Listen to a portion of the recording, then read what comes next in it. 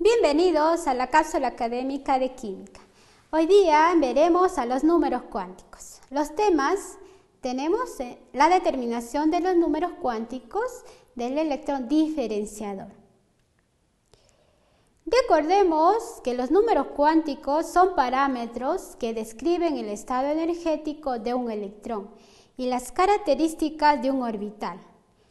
Nos permiten saber los lugares de máxima probabilidad para ubicar a un electrón dentro de un átomo.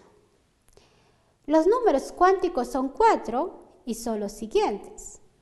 Número cuántico principal representado por n minúscula, número cuántico azimutal o secundario representado, representado por una L minúscula, número cuántico magnético representado con una M minúscula o también se puede representar con una M minúscula su L.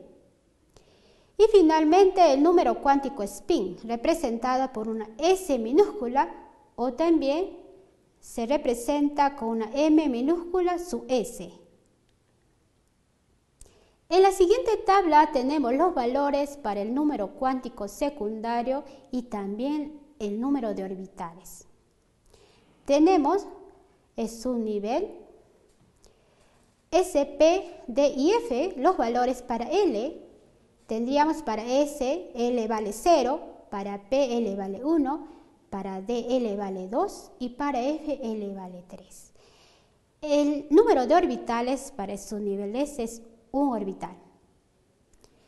Para su nivel P hay 3 orbitales. Para su nivel D hay 5 orbitales. Para su nivel F hay 7 orbitales. Como vemos en esta tablita, en cada orbital solamente debemos colocar dos electrones representados con las flechas, uno para arriba y uno para abajo. El número de orbitales, por lo tanto, tendríamos en la parte derecha 1, 3, 5 y 7 y el número de electrones 2, tenemos 6, 10 y 14. Ejercicio número 1. Nos dice, indique los números cuánticos para el electrón diferenciador que en la configuración electrónica tendríamos para el selenio. El selenio tiene como símbolo químico S mayúscula e minúscula el número atómico viendo en la tabla periódica es 34. En primer lugar, vamos a realizar su configuración electrónica con la regla de con el diagrama de Mollier, la regla del serrucho, etc. Vemos en pantalla y termina en 4p a la cuarta.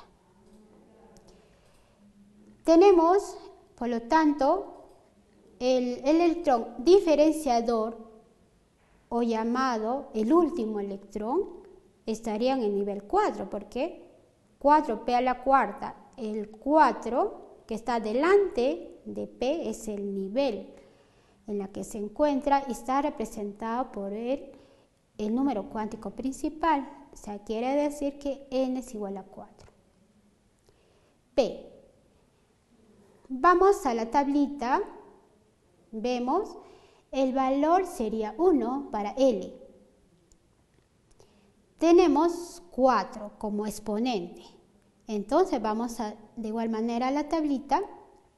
Vemos en los orbitales los 4 electrones, uno en cada orbital y el último tendría el valor de menos 1. Y finalmente el spin el spin sería menos un medio porque está con la flechita hacia abajo. La respuesta sería números cuánticos del electrón. Diferenciador o el último electrón sería 4, 1, menos 1 y menos un medio. Ejercicio 2. La composición de un átomo es Z igual a 37 y A es igual a 85. Escriba los números de neutrones y los números cuánticos del último electrón en la distribución electrónica. Por lo tanto, Como tenemos por dato que Z es igual a 37, tendría entonces 37 protones también, porque Z es igual al número de protones. Y para hallar el número de neutrones tendríamos que restar A, que es 85, menos 37, que es eh, número de protones, nos da igual a 48 neutrones. La configuración electrónica tenemos ahí en pantalla con la regla de Molière terminaría en 5S a la 1. ¿Y cómo realizamos esta configuración electrónica?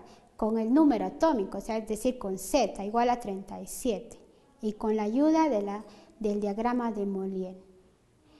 El último electrón lo vamos a encontrar en 5S a la 1. El nivel sería 5, por lo tanto, n es igual a 5.